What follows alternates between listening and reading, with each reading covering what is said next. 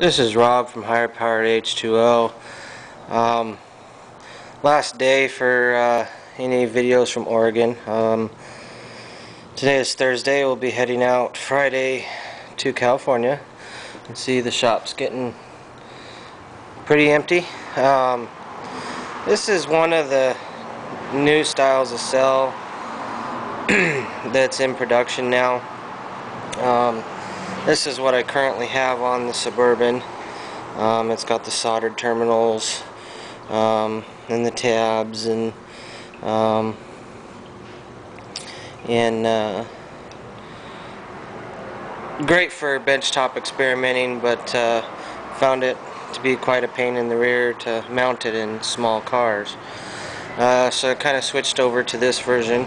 Um, much cleaner, a little harder to assemble initially. Um, but it's exactly what it is, an installer cell uh, for something that's going to go in a car and, and stay there. Um, not uh, claiming any wild numbers and you know any any promises on miles per gallon gains. Um, that's all in the end user and the tuner. Um, when I install personally, um, and people hire just you know there is a no risk situation and um, if no mileage gains uh, are obtainable on a vehicle then they uh, you know we take the cell off and there's no charge to them at all. Haven't had it happen yet. Um, I will tell you that there is some cars that uh, will fight you tooth and nail uh, especially your newer ones um, they don't like this fuel. Uh, the Suburban, no PWM. Um, you can see it down there. There's a 80 amp continuous duty relay, 4 gauge wiring. Um, the cell is mounted underneath the bumper. Uh, very crude um, reservoir, um, but it holds just about three gallons. Um, and then my my flashback arrestor that you saw in the video is also down in here. Um,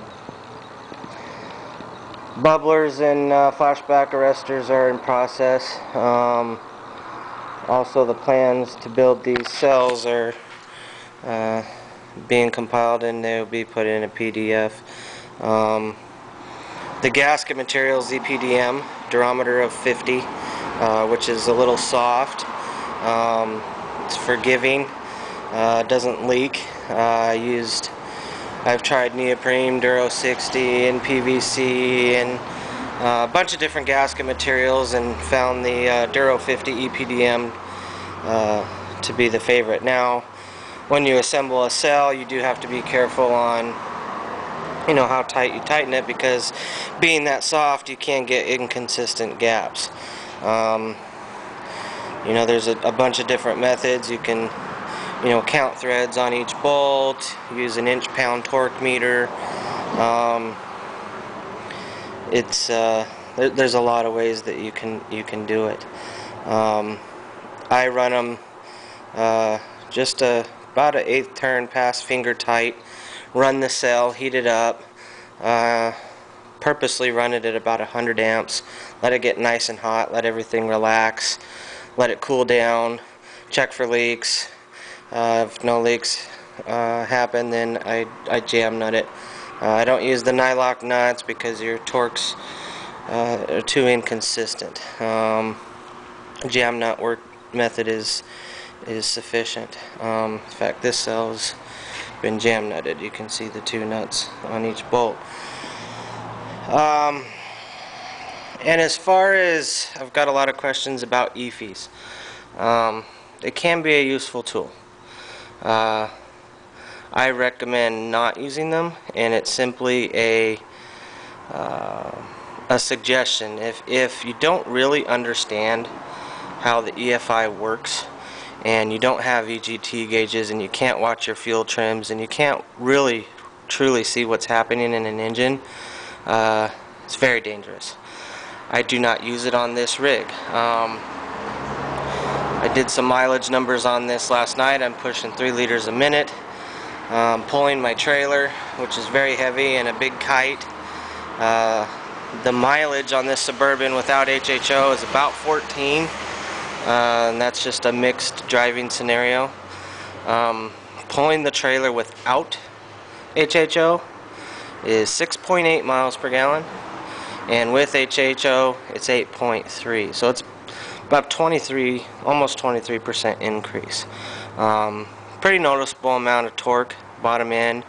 Uh, this poor engine's got 200,000 miles on it it's one of the most inefficient pieces of garbage that GM ever produced. Throttle body 350 um, I'm gonna before this uh, engine gets retired it will get the MegaSquirt on it and see if uh, you know my standalone theory will work out which I'm sure it will.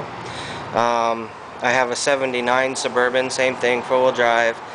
Uh, it's got a stroker engine that I purpose built uh, for high torque low RPM and it gets 19 miles to the gallon with a Holley 750 double pumper, a true double pumper. Um, so I will be also doing a little spin-off later on on just obtaining better fuel mileage, period, engine-wise. Um, the goal for this truck is 25 miles to the gallon. Um, I already know that I'll attain 20 with just my engine, um, and then five or more uh, with the uh, HHO. Um, it'll all be done with computer and I, I don't want to do the band-aid deal. Um, I just think the band-aids are uh, just asking for trouble from the general public. Um, you know, if you're a, if you're an auto tech or you know something of that nature and you really do understand what's going on um, you don't want to put a computer in it, by all means do it. Um, I already know that you don't need it um, on certain vehicles. Um, I have seen it benefit a, a 2001 Hyundai. Um, but it, it, was a lot of tuning, a lot of fine, you know, watching the EGT gauge and watching fuel trims and uh, making sure the power wasn't dropping off and um, I actually tuned that many months ago um, before I did the EFI tests. Um, so I hope that answers a little bit of the questions on the EFIs. Uh, you know, they're like anything. You know, they're like a gun. You know, you can you can use them to as as a as a useful tool, or uh, they can be very destructive. Um, what else? Well, so Burbank, I'm coming. Um, also in the works, uh, a couple different universities are wanting to do some testing with uh, with uh, you know my methods here. Uh, so we're going to get some unbiased, real-life um, results, which this really needs. Um, and everybody who's bought the cells from H2O uh, burn H HHO to burn.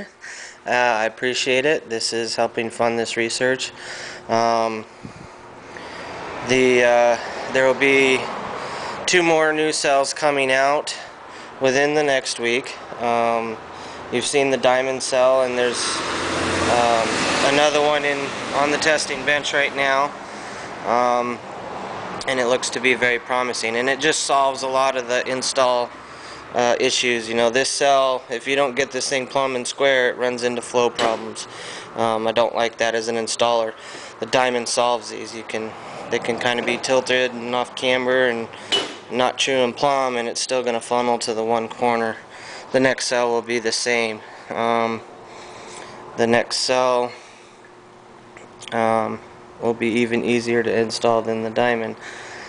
So that's for the, the market that I'm going after and uh,